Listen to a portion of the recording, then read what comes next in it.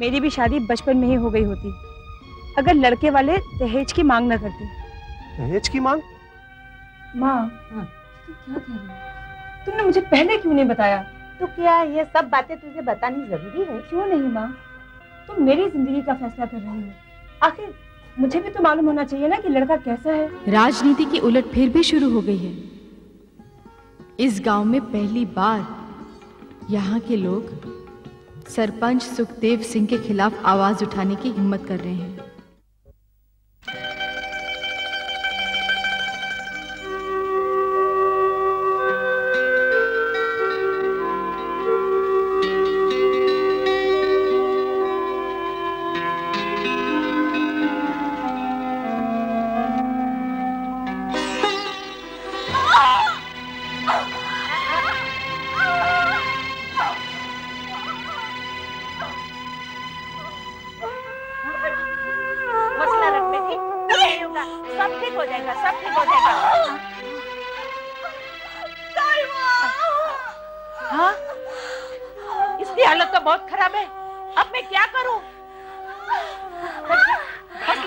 अब इसकी हालत कैसी है? इसकी हालत बहुत खराब है। ये हालत देखकर मुझे लग रहा है ये ये मेरे बस का काम नहीं है। ये काम मैं नहीं कर पाऊँगी। जाओ जल्दी करो डॉक्टरनी को बुला लाओ। जाओ। क्या बात कर रहे हैं हाँ आप? हाँ मैं और डॉक्टरनी को? हाँ। नहीं ये नहीं हो सकता। हाँ, क्यों नहीं हो सकता? जच्चा बच्चा दोनों की जान को खतरा है। समझते क्यों नहीं हो?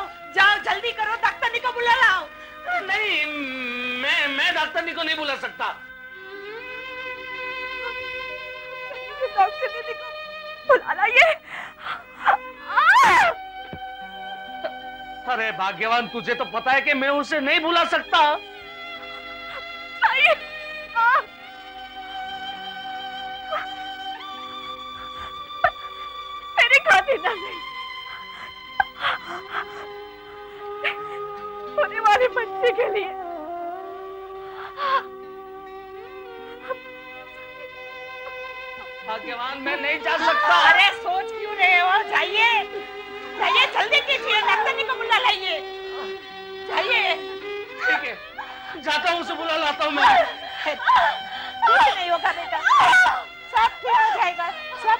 घबराओ मत घबराओ कुछ नहीं। होगा कुछ नहीं होगा।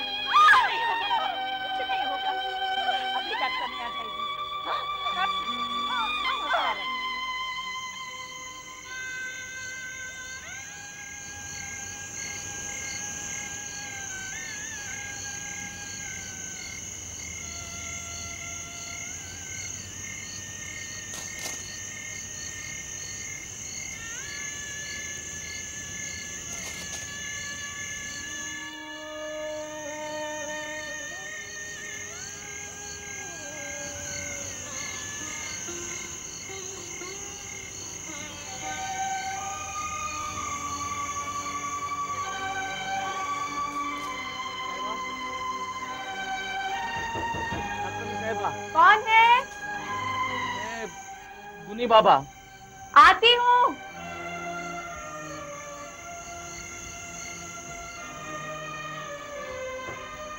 अरे आप नहीं रतन साहब आप जो समझ रहे हो वैसा कुछ भी नहीं है। असल में क्या है कि मैं बड़ी परेशानी में फंस गया हूँ। और आप ही हो जो मेरी मदद कर सकती हो। क्या हुआ? रतन साहबा मेरी बीवी मेरी भाग्यवान पेट से उसे बहुत दर्द हो रहा है। वो बहुत तड़प रही है। और इस वक्त तो मैं कहीं जा भी नहीं सकता। तो मैं चाहता हूँ कि आप मेरे घर पर चलिए।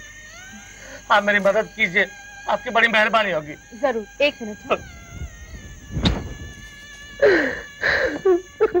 अरे चलो चलो चलो चलो जल्दी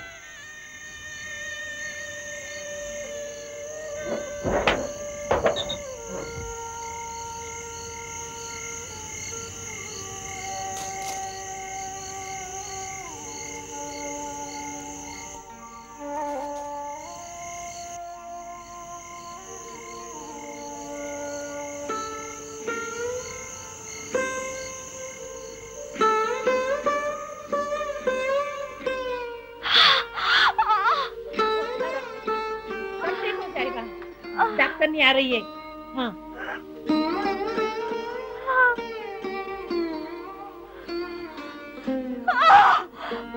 अच्छा, डरो मत डरो सब ठीक हो जाएगा।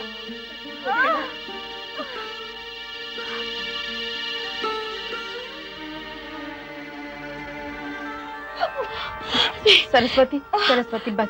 मैं आ गई हूँ ना आप भी चिंता मत करो। आप कुछ कीजिए। मैं करती हूँ जैसे मैं कहूँ तुम वैसे ही करना ठीक है? चिंता मत करना?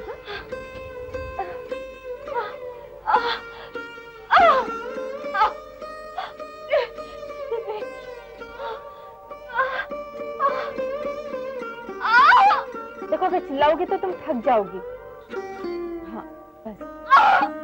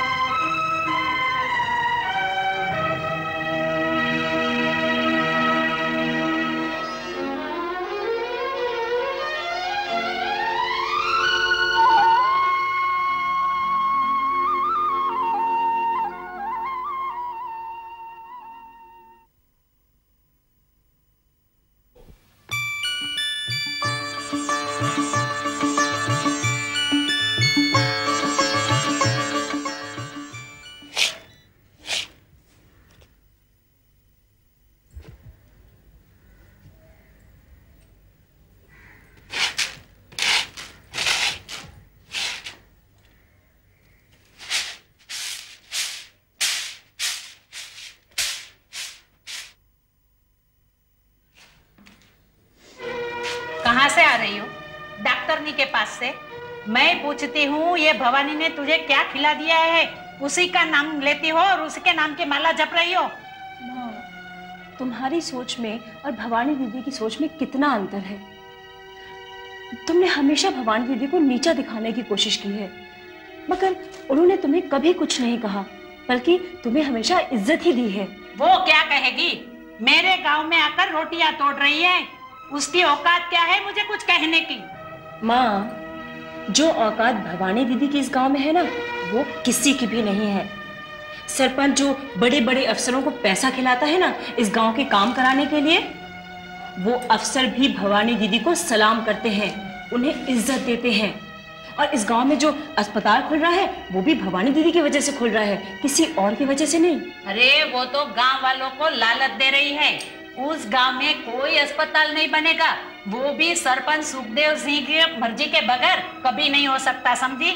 इसीलिए मैं कह रही हूँ कि स्कूल से सीधे घर आया करो। हाँ सरपंच के लोग भवानी के खिलाफ है, उसके साथ कभी भी कुछ भी हो सकता है। माँ, भवानी दीदी कभी किसी से डरती नहीं है।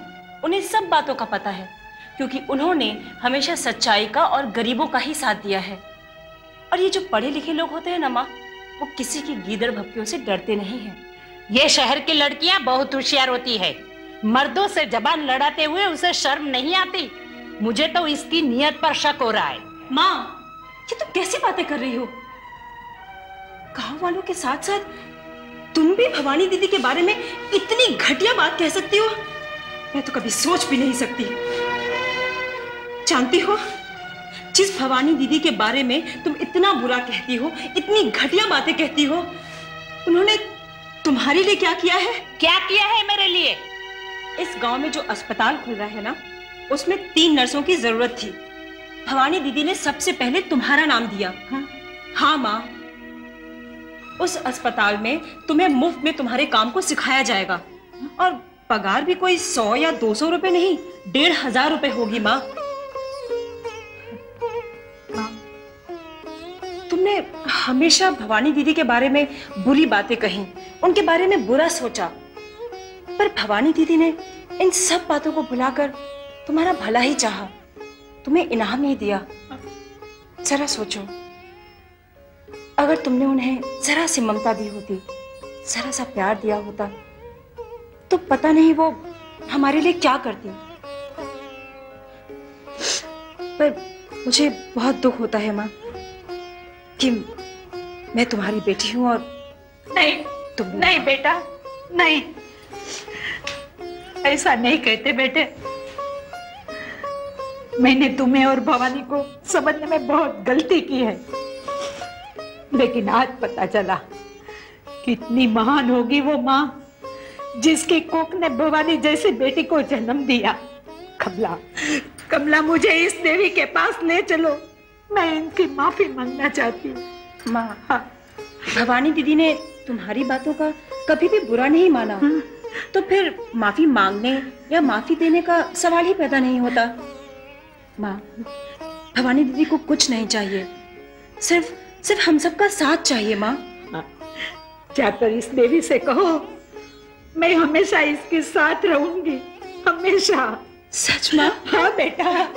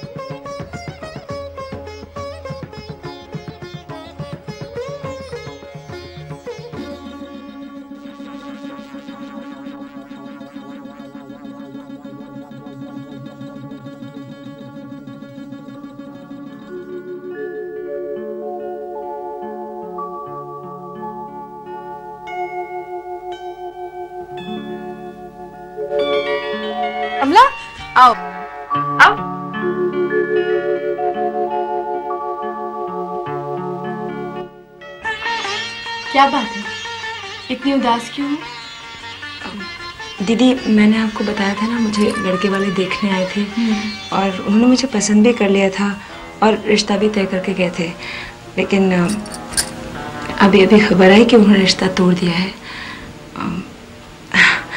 लेकिन मैं सोचती हूँ कि जो होता है अच्छे के लिए होता है। मुझे उम्मीद है कि अब मेरी शादी मेरे पसंद के लड़के से हो सकती है। अच्छा। मुझे पता था तू यहीं पर मिलोगी। मौसी। हाँ, अरे ना ना ना आप गलत समझ रही है। मैं इधर लड़ने नहीं बल्कि आपकी मदद मांगने आई हूँ।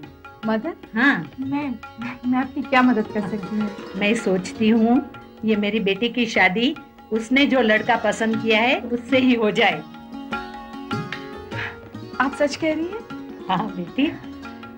मैं अभी बराबर समझ गई हूँ। आखिर वो मेरी बेटी है। इसकी पसंद में ही मेरी पसंद है। अच्छा आप दोनों बैठो बात करो मैं आती हूँ। अच्छा हम्म, अब तो खुश हो?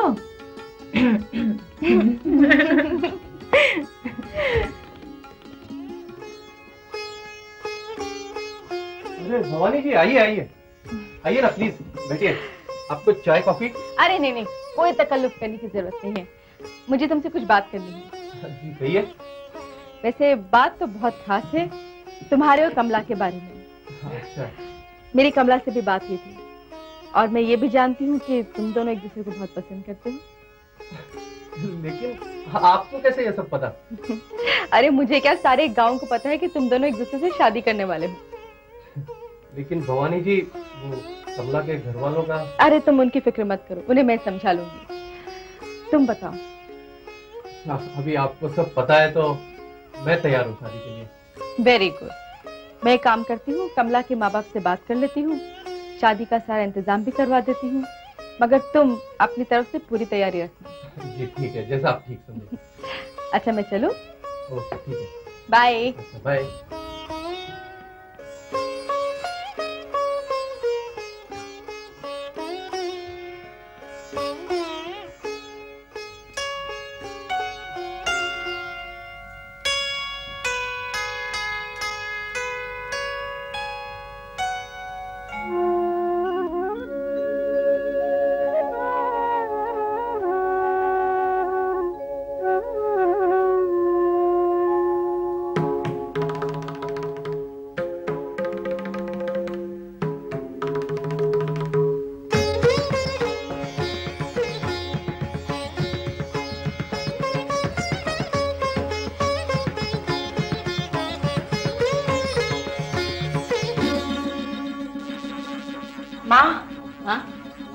माँ आपको किसी से मिलवाना चाहती हूँ। नमस्ते माँ जी। नमस्ते।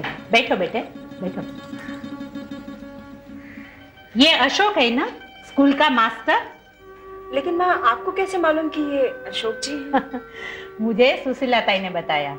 उन्होंने तुम दोनों को एक साथ स्कूल से जाते हुए देखा था और बता रही थी कि अगर कमला की शादी अशोक से हो जाए तो दोनों की जोड़ी बहुत ही प्यारी लगेगी। दरअसल माँ जी मैं इसी सिलसिले में आपसे मिलने आया हूँ। मैं कमला से शादी करना चाहता हूँ। अगर आपकी इजाज़त हो तो। मगर बेटे तुम हो शहर के रहने वाले और गाँव की लड़की के साथ कैसे ज़िंदगी बिता पाओगे? माँ जी आप शहर और गाँव के लोगों में इतना अंतर क्यों समझती हो? वहाँ भी तो इंसान ही बसते हैं। और वैसे भी कमला अपने बारे में मुझे सब कुछ बता चुकी है। माँ जी कुछ लोग दहेज के कितने लालची होते हैं पैसों के पीछे कितने भागते हैं उन्हें तो ये भी पता नहीं होता कि उनका असली सुख किस चीज़ में है। ये तो ठीक है बेटे। मैं भी कमला की शादी के बारे में बहुत चिंतित थी मगर आज तुम्हें देखकर ऐसा लग रहा है कि मेरे बेटे की ज़िंदगी अभी सवर जाएगी। अच्छा माँ जी अब मैं चलूँ? नमस्ते। जीते रहो अरे बच्ची, तू इधर क्यों खड़ी हो? आ जाओ मेरे पास। अब तो मेरी सारी चिंताएँ दूर हो गई। खुश रहो बेटी, खुश रहो। बहुत खुश रहो।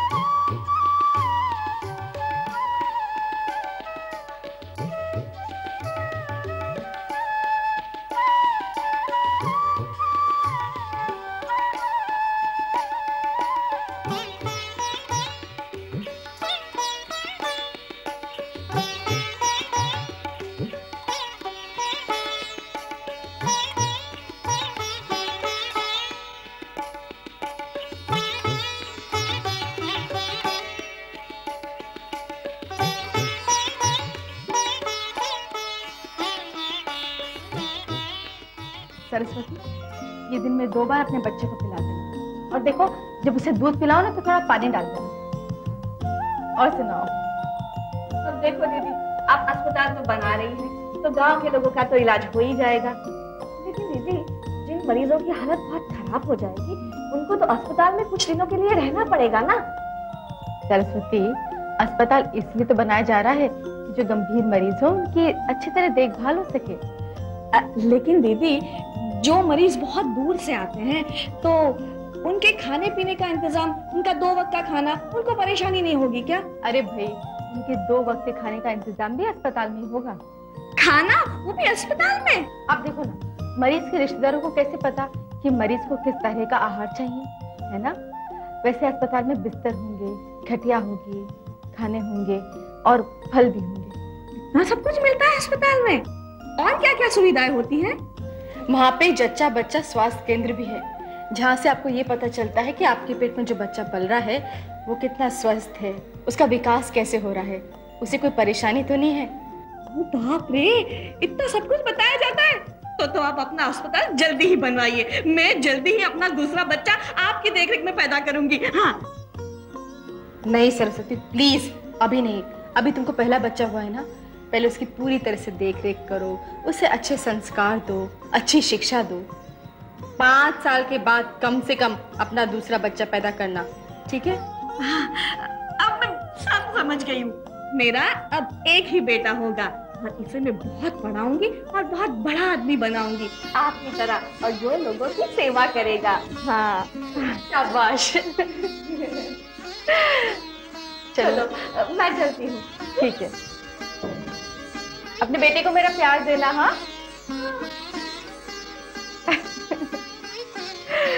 सरस्वती भी ना बचपना नहीं जाएगा। उसका